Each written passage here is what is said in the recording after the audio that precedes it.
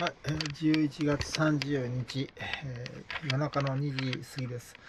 本家の半間洋先生です。えっ、と、皆様方にお教えしたいことはですね、えー年取ってからね、えーぜひね、知っていただきたいというですね。え年金をね、あの、もらえるようになりますですよ。年取ったらね。で、それで生活できるんですけど、最小限はね。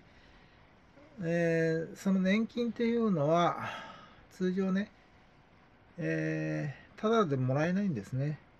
あの、ま、保安力守る仕事が必要なんです。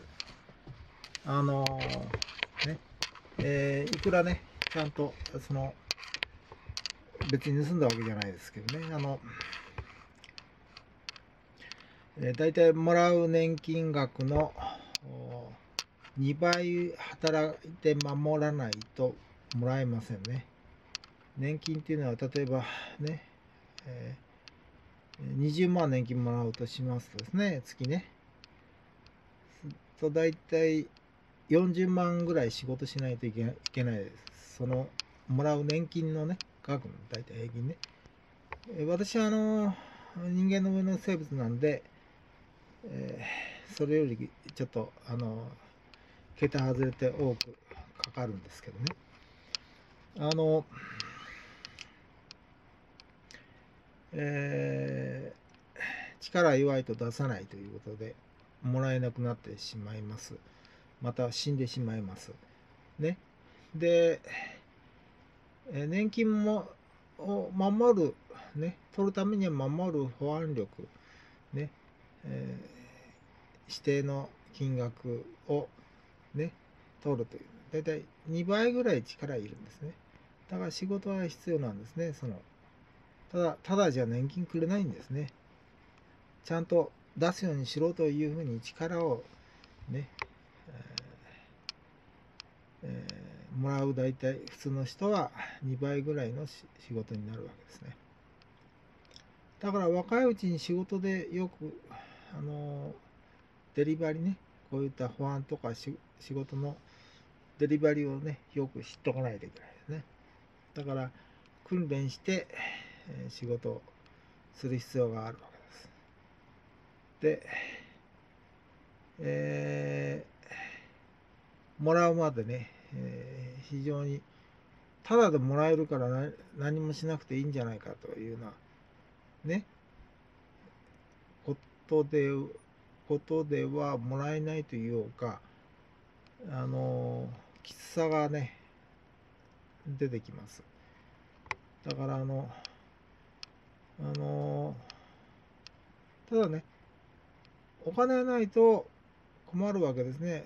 あの調達する方法がなかなか難しいわけですね。だからそのきっかけとして2倍かかるけども仕事量かかるけども大事なわけですね。お金っていうのは必要なんである程度はね。ということなんですね。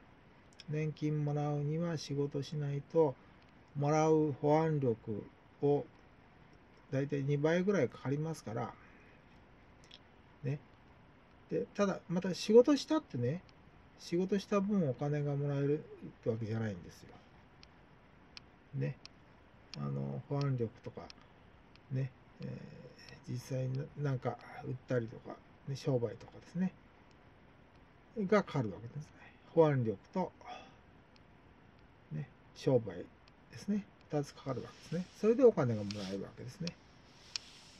だあの社会で若い時はそれをよく覚えてそれでいないといけないとうん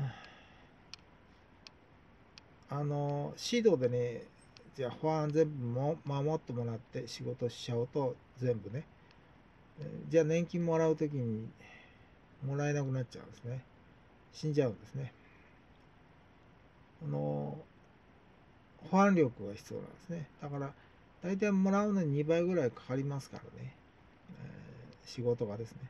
一生かかりますからね、えーその保安力の仕が仕事をやってないといけないわけですね。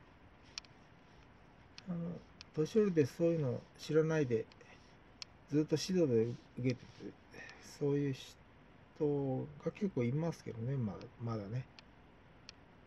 えー年金もらう時もまだシードっていうの人います。保安力やってなかったからね。それもシードでやんなくていいよというような人はいますけどね。あのーシードの人はね。ということですね。だあんまりそういう人を作ると、社会が定年定年年金までシードで作るとね、みんなが大変になるでしょ？仕事を多くしないといけないから。だから、あの、ね、途中で辞めちゃいますけどね、大体。で、死んじゃうと。ね。そういうふうな形になってますね。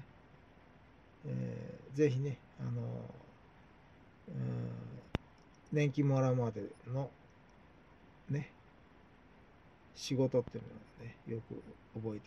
私の場合は、あの、2倍どころじゃないんです。